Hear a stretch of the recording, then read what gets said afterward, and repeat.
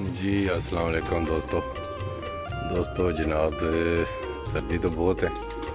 दाना वाना खा लिया कबूतरों ने। अब ज़रा इनका शावर टाइम है। तो मैं चलें, आपको दिखाता हूँ। अभी बिल्कुल नल का ठंडा पानी। ये देखें, ये अब जाएगा इनको। आज वैसे एनर्जी वाला पानी पिलाया था। और चलें। आज जो पिए जो नहाए, अब ये तो नहाएँगे, देखें ज़रा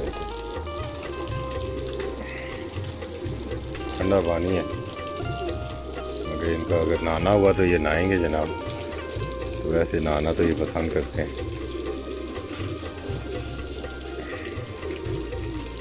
थोड़ी देर तक देखिएगा कैसे इकट्ठे होते हैं। जी दोस्तों ये देखें थोड़े थोड़े आस्ता आस्ता करके आना शुरू हो गए तो ये कबूतरियाँ ये देखें पैंतीस वाली माशा तो अभी मैं नरों की तरफ़ जाऊँगा, पानी डालूँगा तो वो भी वीडियो बनाता हूँ। चलें दोस्तों, नरों की तरफ़ चलें। ये ज़रा देखिए। देखें माशा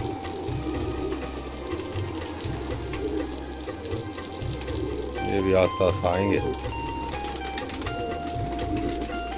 आज थोड़ा लेट हो गया मतलब वैसे तो नॉर्मली मैं इनको नहला देता होता हूँ।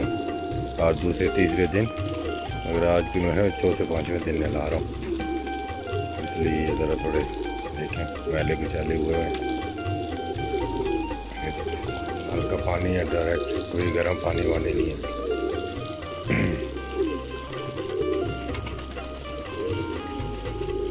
अभी अंदर जाके दरवाज़ा खोलूँगा, ये अंदर फिर सूखने के लिए बैठ जाएँगे।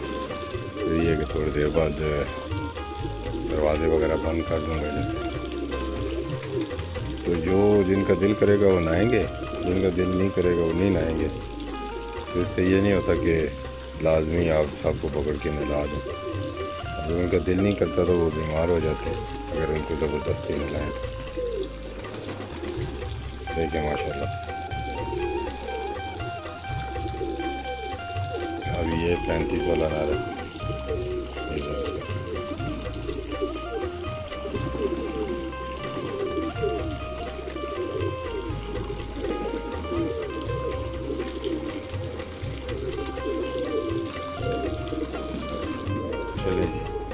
उधर मादी हैं।